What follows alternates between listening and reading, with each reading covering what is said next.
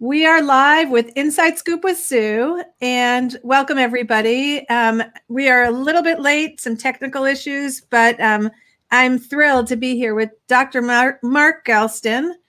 And I didn't get to ask you first. I hope I pronounced that correctly. Uh, Goulston, Goulston. Goulston. Okay. Dr. Mark Goulston, there we go is the inventor of surgical empathy, which we're going to learn more about, a speaker, executive coach, and the author of Just Listen, which is behind him there, which became the top book on listening to the world, in the world. Um, so here's what I want to start with.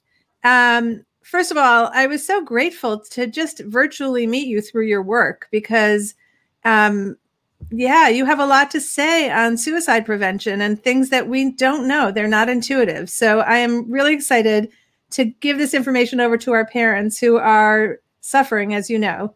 Um, so tell us first, you're the inventor of surgical empathy. What is surgical empathy? Well, surgical empathy is uh, if if you've been suicidal, you'll understand this. Sadly, uh, when you're suicidal and it doesn't go away, death is compassionate to hopelessness. You know, when you feel hopeless, no future, you feel worthless and useless, death is like the sirens calling the sailors onto the rocks I'll take away your pain. And so what happens is people who are in that kind of pain attach to it and they keep it in their back pocket in case some everything gets awful. So surgical empathy, what it is, is, and here's a more complicated term, uh, empatholysis. So if you know what dialysis is, uh, lysis means to break things. And so empatholysis, which is the process used in surgical empathy, is you want to go in there and break their attachment to death as the only way to relieve their pain. And a lot of people who are uh, depressed and suicidal, they are very locked and they can't go to where you're at. And they're not being stubborn, they're just locked inside. And so they're holding on to death in case everything uh, gets bad. So surgical empathy is a way of going to where they're at. And uh, can I share an anecdote which will give you a taste of it? Please, please. How much time do we have for today? Half hour. Oh, uh, there's plenty of time. So this is not about teenagers, but this taught me about uh, the need to go where people are. Uh, years ago, I was called uh, into UCLA to put a man uh, on restraints for his arms and legs and to give an order for a antipsychotic medication because he was pulling at his IVs, he was pulling at his the tube in his neck, he was pulling at everything. And so I go up there and he's all tied down and he can't speak and his eyes are as big as saucers and he's screaming at me through his eyes. Uh, uh, uh. uh. And I said, "What is it? What is it?" And he's going, uh, uh, and I give him a pencil. His hand was tied down. I said, "Write it down." And he scribbled. And they said he's just psychotic. You know, we had to calm him down. And so I told him we had to put your arms and legs down. And I've given you a medicine to help you calm down and when you calm down, we'll take everything off. And he's just looking at me like this. And then uh, the next day they paid they, they paged me and they said mr jones is up he's off the respirator he's sitting up in bed and he told us to page you so i go into the room susan and he looks at my eyes and he says, Pull up a chair. And he seats me with his eyes and he doesn't let go of my eyes. And he says, What I was trying to tell you is that a piece of the respirator tubing was broken and stuck in my throat. And do you and do you understand that I will kill myself before I go through that? And I am telling you that was the lesson that flipped me. And I realized that that's true for a lot of people. A lot of our teens, they need us to go where they're at and when we start to give them solutions, it's great if the solutions work. But then when the solutions don't work, uh, parents get scared, they get frustrated, and, and the teens aren't trying to frustrate their parents. And then add to that, the teens start to feel burdensome. You know, I saw suicidal patients for 30 years. None of them died by suicide. And I tried to figure out what the heck I was doing. And this was a real poignant insight. I remember one of them came in and I said, what helps? And he looked at me and he said, You're the only person who enjoys me in my life. To everybody else, I'm a burden. I scare them. When I see you, you smile and you're glad to see me. And it's not attached to whether that, did I follow treatment. And he said, You're an oasis where I know you're not, where I know I'm not a burden. Because when I feel awful, I feel like a burden to everyone. And then I just think to myself, well, I'm pretty worthless. Why don't I just relieve everyone of me? So is this giving you some insight, Susan, about why we need to go where they're at? Yeah, and I, I think it's really amazing and such deep insight. And both those stories are so powerful. And yet I have this flip side, which is you are the psychiatrist. You your emotional attachment to this patient, child, teen is very different than mine as a parent. Can this can we somehow the same place that you are in the office? And I just I don't know how I would let go of the fear, how that wouldn't just be oozing from my being every time I, I heard from that child. So here's a here's a parent version of surgical empathy. Uh, but you can see that I think I've described that surgical empathy. You you break their hold on death as the only way to relieve their pain, and you have to give them something where they feel felt. Now, one of the reasons we're afraid to feel what they're feeling is we parents have our own anxieties. We struggle with depression and we don't want to all drown. But here are four steps that uh, you can use as parents. If you're talking to teenagers, uh, don't do this with a heart to heart talk. Teenagers can't stand these face to face talks where, uh, unless they initiate it, unless they say, I got to talk to you, mom, I got to talk to you, dad. But whenever you initiate it, they they pull back and they feel they're going to be lectured. They feel they're going to feel your anxiety. So what we recommend is when you're doing an activity, you know, so you're in motion as opposed to they're being locked in. It could be it could be doing the dishes. It could be running an errand. And and this is how you slip it in the conversation. And this is the exact script. You say, uh, you know, a lot of us parents are worried about our kids because of COVID so you're not telling them that there's the problem. You're saying everybody's worried about how COVID has affected their kids. You know, you've been locked in, school's changing, uh, you feel a little bit behind in school. Can I ask you a few questions? But you have to say it without the nervousness. And you know, and if you're lucky, they'll say, "Okay, that's cooperation from a teen." Yeah, okay, mom. And then and then you say to them, at its absolute worst, how awful are you capable of feeling about your life or yourself? And they're going to go, what? And, and, and you have to ask it because what you're wanting to do is get them to get it off their chest and let go of their depressed and suicidal thoughts. And they may say, uh, pretty awful. Uh, and then you say, pretty awful or really awful? Okay, okay, already, really awful. And then you say, and when you're feeling it, how alone do you feel? And again, they might say, pretty alone. And you say, pretty alone or all alone? Again, you're trying to pull it off their chest out into the air and into your love and safety. And so they might say, all alone. And then you say to them, take me to the last time you felt that. And they're going to go, what? You take me to the last time. We we kind of heard you walking around the room last night in the middle of the night, and you know we figured you weren't uh, you weren't able to get to sleep. And here's the interesting thing that happens is when another person can describe in clear detail something. Yeah, I was up. I didn't know whether to uh, punch the wall or put my head into the wall. And I and then what happened? I kept looking around for some sleeping pills, your old sleeping pills. I couldn't find them. And then what happened? I just kept pacing. And then what happened? The sun rose. And and see, when they say it, they're not alone. And if instead of jumping in with your anxiety, you're trying to again get them to pull it all out. So surgical empathy is like draining an abscess. And it's a hopelessness abscess. And so as they're saying that, they're going to start to feel relief. And if you're lucky, they will start to cry. So don't have the crying scare you. It's actually the relief they feel because they're getting it off their chest. And then what you say to them with all the love and with all the emotion and your eyes watered up with how much you love them and you don't want them to feel pain. And you say, I got a favor to ask you. And by then, hopefully, they won't be so defiant and they'll say, What? Whenever you're feeling that way, or you don't even have to be close to feeling that way, I want you to do whatever it takes to get your dad or my attention. Whatever it takes, because we're caught up with everything we're caught up with and there is nothing more important to us than making sure that you're not alone there. So, would you do that for us? So, can you follow those steps, kind of?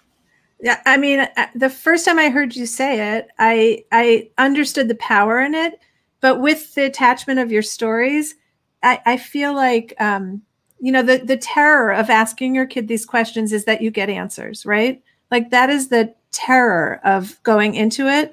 And we're not trained in how to respond to that. So, you know, when there's this idea of saying to your kid, have you ever been suicidal? Have you ever felt suicidal? Like, I think a lot of what keeps people from doing it, I know myself too, is what do I do with the answer to that question?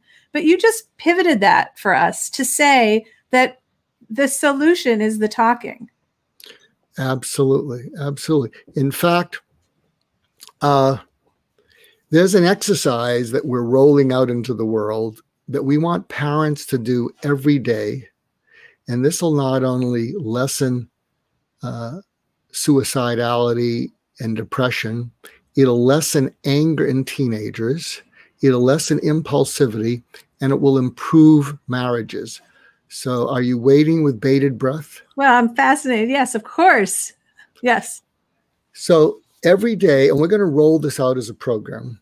Every day, uh, what the parents do with their kids is they're going to they're going to say we're going to do this every day, and every day, the parents say we're all going to share something that we felt upset about today.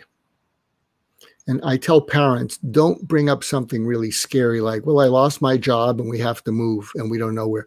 So, so everybody brings up what is something you felt upset about? What did it make you want to do? What was your impulse? Made me want to do this. What did you do? I did this. How did that work out for you? Well, blah, blah, blah, blah, blah. And then, uh, is, did you learn anything from that?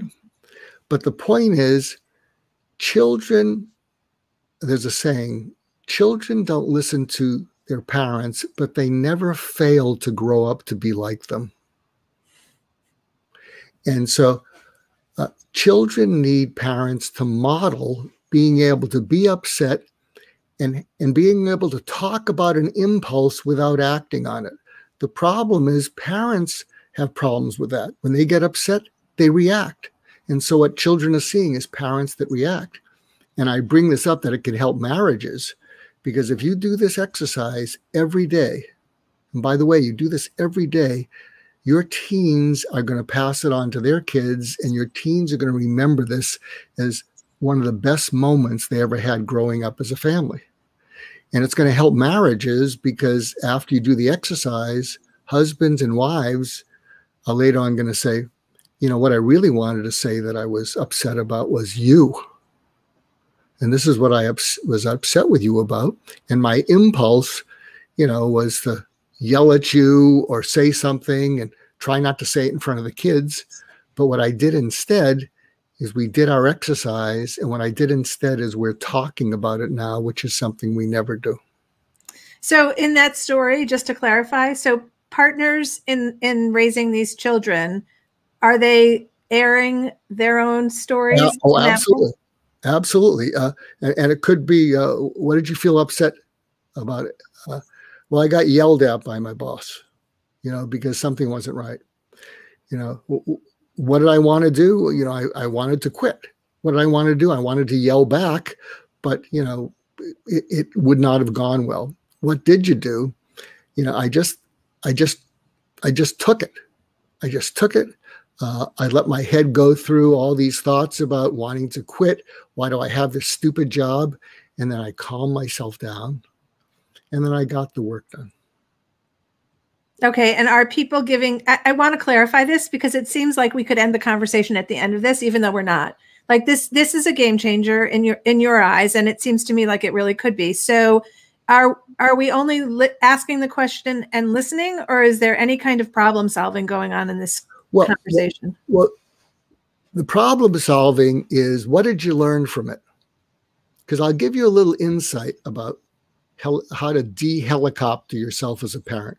uh, what helicopter parenting means is that at some level you're anxious and you don't trust your or have confidence in your child's judgment. So you're on top of them. And and even though your anxiety pushes you to helicopter, uh, if you can get into the practice of asking these kinds of questions, uh, and they start to tell you what their impulse was and what they did do, the more that you start to find out that what they did do was pretty smart, you're going to have confidence in them. Here's another tip that parents uh, like. Uh, when you're doing an activity, and this will help de-helicopter uh, you because that doesn't help your children, is when you're doing an activity like driving, you can ask your kid, "Can I ask you, you know, a uh, you know, a hypothetical question? You probably need a different word than hypothetical because it has too many syllables. But you know, can I ask you a question? What? and and you want to seed in them judgment. So you might say something, and you have to fill in the blanks. Um, who do you think is going to get in trouble this year in your in your class? What? I'm just curious. I'm not telling you to avoid them. I'm just curious. Well, uh, John's going to. Why? Oh, because he got in trouble three times last year. Really? And uh, uh, and and let me ask you, uh, uh, if you go to a party how do you tell the difference between a party that's a little bit rowdy and a party that's getting dangerous? And again, you don't tell them what to do. And whatever they say, you say, Really? How'd you come up with that? And then you say things like, How do you tell the difference between a class you can study for at the last minute versus one you got to stay on top of? So, what you're doing is you're getting them to tell you how they would problem solve. And can you see, Susan, that when they start to come up with stuff that really not only makes sense, but is better than your answer, you're going to start to have confidence in them. So, your assumption is that kids are able to do this better than we would anticipate, but that isn't true for all kids, right? No, that isn't true for all kids. But the point is, you can start with little questions, you know. Uh, but but the idea is you you want to ask them questions versus telling them what to do. I have a saying, you know, from my book, uh, Just Listen. Uh, the way to influence people is not what you tell them, but what you enable them to tell you that really matters to them and that's bothering them and getting it up into the air. And then you help them solve it. Now, I realize uh, patients who are in a rush, and they all are, that's a problem. Uh, I'm going to throw in something from left field because I hope I'm wrong in this, but it's got me really worried about millennial parents because I'm a grandparent and I'll be with my grandkids and we'll go to the playground and I'm starting to see this and I hope I'm wrong. Millennials as a generation are not particularly patient. Part of that came from technology, you know, because technology, I, I mean, I don't know if you've noticed, Susan, but some of them type so fast, I don't even know how their fingers can move like that. The thumbs, I mean, the, thumbs. it, the thumbs. It's unbelievable. Uh, and but I think that they're impatient. And what worries me, and I'm seeing it, and I hope I'm wrong, is that a newborn infant doesn't respond like an algorithm. And uh, and it can try your patience uh, when that infant won't go to sleep or won't feed or won't do something, it can try the patience of a young mom who's usually with that infant. And what I'm seeing is the young mom, of course, doesn't want to get angry at the child. So she deflects it towards her husband. And I'm seeing this more and more because by nature, they don't know how to be patient. They don't know how to hang in there and know that it will pass. and, and, and they don't want to feel angry and be a bad mom. So they start snapping uh, at their husband, and the husband sort of doesn't know what he did. And so I really hope I'm wrong on that. Well, I would say the impatience could also be seen as at our fingertips are solutions to everything. We rarely have to struggle with not knowing the answer to something. And so parenting is a place where I don't I don't actually think that's new what you're talking about. I think you know, we're always looking for solutions. Um, some of them critical and life saving, like today, but also just many other ones in our lives. Um, so I want to take two comments. Stephanie says communication with your child is key. They need to be able to trust you and come to you. Fantastic. Stephanie, thank you. Kimberly says, Thank you, Susan, for giving the parent perspective. We as parents have a greater emotional investment and attachment to our children's responses than a therapist or a counselor. So I, I want to talk about that a little bit because I know I felt my kids are out of the house, but I know I I looked for solutions. I asked and invited people to give me other ways to interact with my kids, and then I said no, I can't do it. Um, and so now I completely agree with Kimberly here. But what I want to suggest is we know we're in a situation right now that's dire, and you're telling us something that seems simple, challenging, our own emotions get in the way of it. How do we how do we just kind of say, that doesn't feel like me, it doesn't sound like me, but I'm going to try it anyway? well, because we're, we're, I'm, I'm asking you to develop a, a, a new muscle called empathy. Empathy takes time because it means you have to let go of what's on your mind. And if we're rushed, we want to check boxes feed them, clothe them, get them to do their homework, get them in the car, get them in the bus, uh, and then go and do something else. And they pick up the uh, uh, the agitation. So I'm going to tell you something that's going to feel totally unnatural, but I invite you to take issue with it, Susan. So, so you ready for the challenge? I'm always up for the challenge. it's called the Huva Challenge, H U V A. And if you can do this once a day for a week, it can, and it becomes, starts to become a habit, it will change all your relationships. So I like to build some suspense here. So what music? so what music? So uh, uh, and let's not play the music from Jaws. But uh, what HUVA stands for is heard out, understood, valued, added value. So pick a conversation that you really want to connect and have it be a good conversation. And by good conversation, we don't mean that you were right and they were wrong. And they said, yeah, yeah, yeah, and then didn't do it. So just pick one. And this is how you build the muscle. And we're all bad at this initially. So have the conversation and then rate yourself from the other person's point of view. So, on a scale of one to 10, how much do they feel that I heard them out versus interrupted versus rushed them versus changed the subject? On a scale of one to 10, how much they feel I understood them? And you show that you understand them by asking them to clarify something. When they say, I was really nervous about such and such, instead of saying, well, it'll be okay, you say, say more about being nervous about that. Uh, on a scale of one to 10, how much they feel I value what they had to say. In other words, did I take it in and think about it and actually thought there was something pretty neat about it? You know, like, wow, that, that's how you figured out how to do that? That's really amazing. And then the final th- thing is A, how much they feel that I added value to what they said. And that might be, you know, that thing you just told me that you're doing, you know, uh, in your sport that's helping you in your sport could you apply that to your homework? Or so you add to something that they're saying, this is totally unnatural, but you can build it as a muscle. And and you're right. And, and here's the thing: what we need to do is every realize that everything feels unnatural until we turn it into something we feel competent at. Well, also we're all here trying to get some new some new input because it feels like what we're doing isn't working well. So that step from where we're comfortable to what might work has to be uncomfortable. Like it's not going to be natural to us. But when you're so when you're giving those examples, I'm thinking about just this past week where I failed my kid. And I can tell you that what put me in the situation of failing that kid was that I was nervous I was going to get it wrong. So I didn't allow for empty space. And I, I, you know, I think that I'm not alone in that experience. We are a little bit nervous about it, what we say next. Does it shut down the conversation?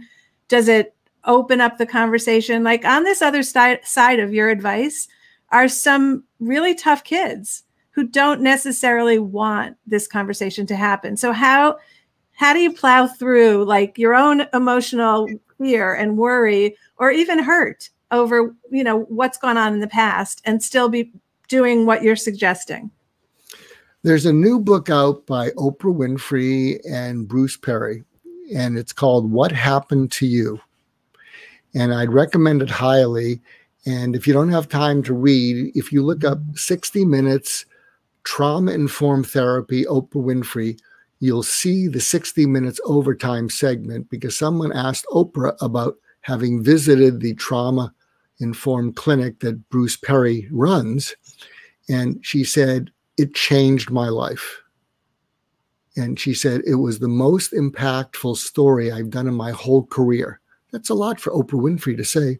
Yeah. And the reporter said, Well, what do you mean? And basically, what she was saying is that what trauma informed therapy is about is when someone's acting up in any way, it's being a defiant teenager, they, they're flipping you off. Your attitude is what happened to you that caused you to do this? And she said it, and Oprah said it just changed the way that she looked at life because I think she was owning up to the fact that, you know, when someone acted up, that she could jump on them and say, Why'd you do that? You know, make them feel wrong. So I guess what I would ask you as parents do you believe that your kids are essentially good people underneath the way they act? I can only speak for me, but of course. so if you believe that they're essentially good people, and they're acting up in a certain way, then something must have provoked them. So, what happened to you? And I'll give you some advice that I heard from a very wise rabbi that I know. He says that whenever his children act up and he's talking to them, they know they're in trouble. You know, they're afraid he's going to guilt trip them. And so they already know they did something wrong.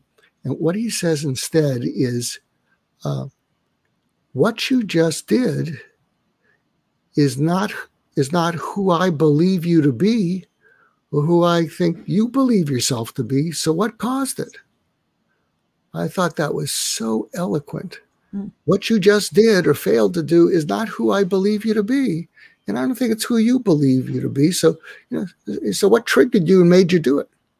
Well, I'm going to just say this and then move on to a little bit more about suicide if we can. Um, but that requires so much presence.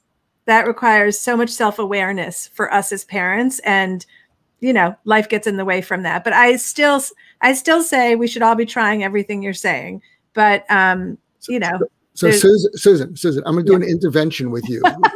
trust, trust me. Trust me. This, this I love this, when I'm in therapy on, on Facebook is, Live. uh, this is this is good viewing okay yeah so what's happening is you're you know listening to me but you want to be responsive to your audiences and you want to speak for your audiences because they're all nervous and they're all agitated and and and so what's happening a little bit is your voice is kind of ratcheted up like, so what about this and what about this and if i were to say what's really going on well, I want to get a lot of information out, uh, you know, Dr. Goulston, and, and I know what parents are going through, but what, and, and this is another surgical empathy, but what's really going on, Susan?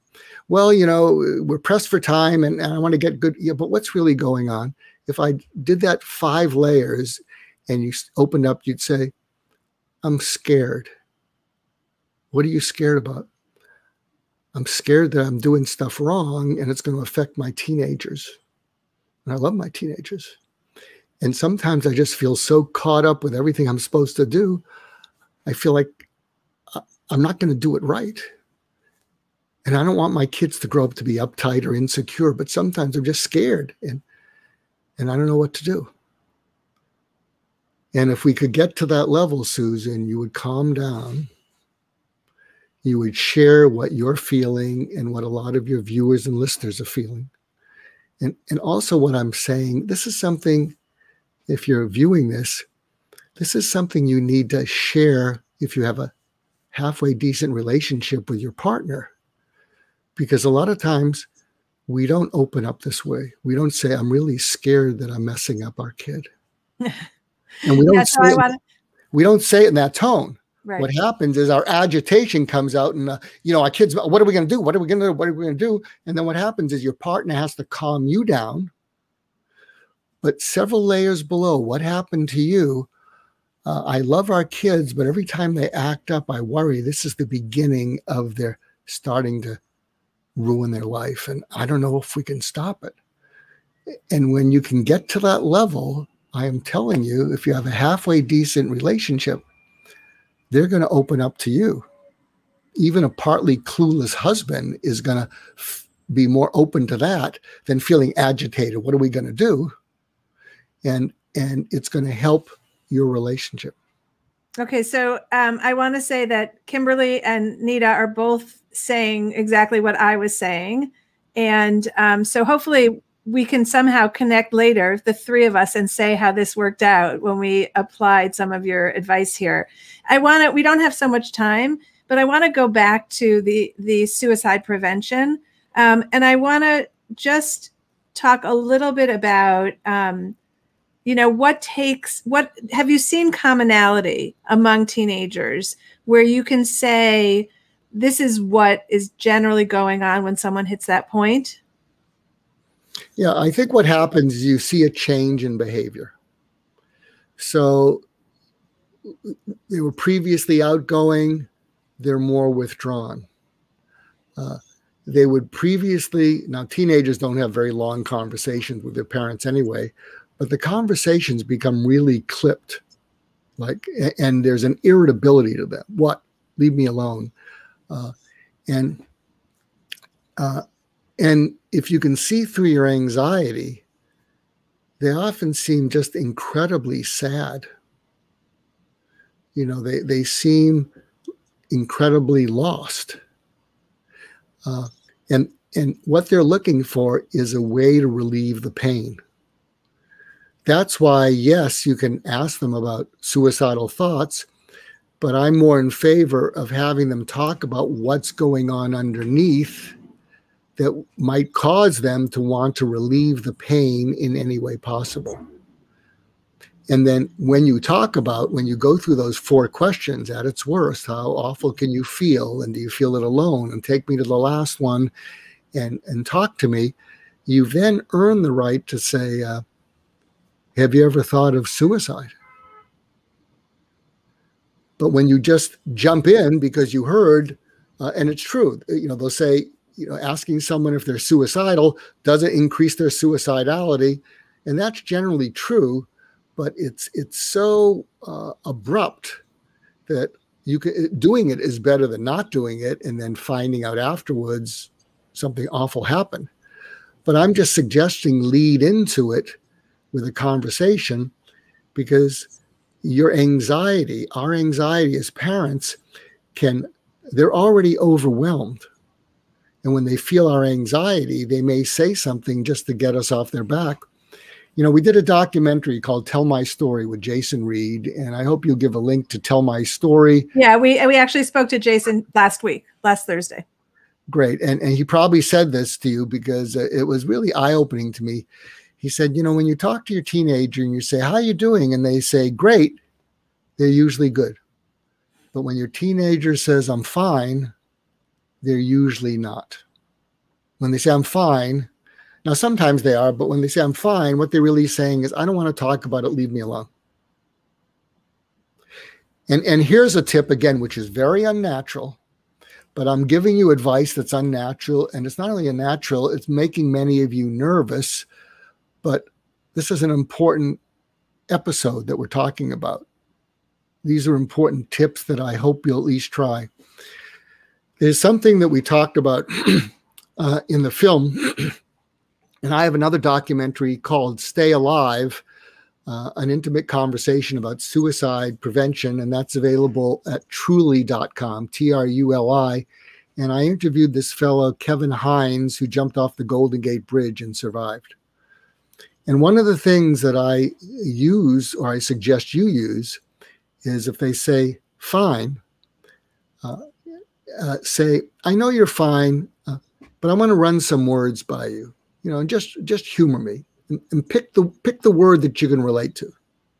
But again, you have to work on your tone because if you're coming from anxiety, your anxiety is making them feel worse. And the words are uh, anxious, depressed, frustrated, angry, ashamed, alone, lonely, overwhelmed. You can throw in other words. And they're going to say, What? Just pick one of those words that goes along when you're feeling really bad. And whatever they say, if they say, you know, uh, angry, say, uh, tell me more about that. And the reason this works is there's a, a fair amount of research, mainly done by a fellow named Matthew Lieberman at UCLA. And I think he has a wonderful book out. I think it's called The Social Brain. He said when people attach the exact emotional word to what they're feeling, they calm down. That's why, Susan, when I was saying before that if we could push you down, what's really going, what's really going on, what's really going on, and we get through the agitation, and you and you look at me like a deer in the headlights and say, "I'm scared. I love my kids. I see how crazy the world is. I don't want the world to eat them up. I don't want the world to bully them. And if the world's going to bully them, which is probably happening, I want them to be able to handle it. And I don't know if they can. But do you follow what I'm saying? That's a different level of conversation than rat tat tat tat tat. All right. Well, there is a ton of information here. Most of it is new to us. We haven't talked about it before. All of it sounds like worth trying for everybody who's listening. And um, Dr. Goulston, say, tell me the pronunciation, Goulston. It's Goulston. You you were too you were too anxious to, to pronounce it correctly, but we'll give you a pass. Thank you. That's very kind of you, Dr. Goulston. Thank you so much for being here with us, and thank you for the personal therapy. I appreciate that. Well, you're welcome. One, I want to mention something also. Sure. sure. Uh, uh, uh, we launched a course on Himalaya.com. Uh, and it's called Defeating Self Defeat. And it's an audio course. So Himalaya.com forward slash defeat.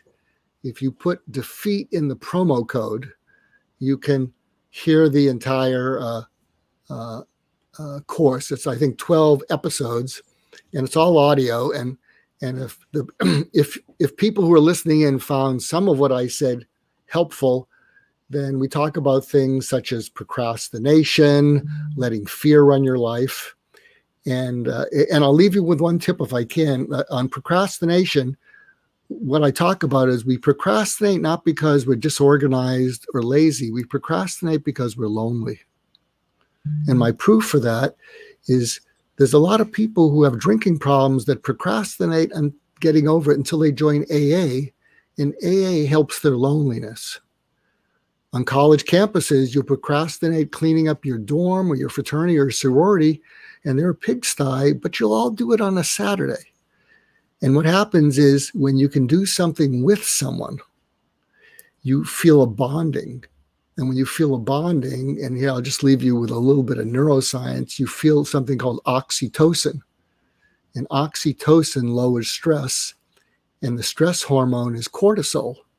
So even though you want to withdraw from people, the more you can actually open up emotionally, the more you could say, Susan, to your husband, I'm really scared sometimes for our kids. I'm scared of our kids and I'm scared for them. But the more you can say that, the more that's going to invite him into a conversation in which the two of you will bond and you will feel better.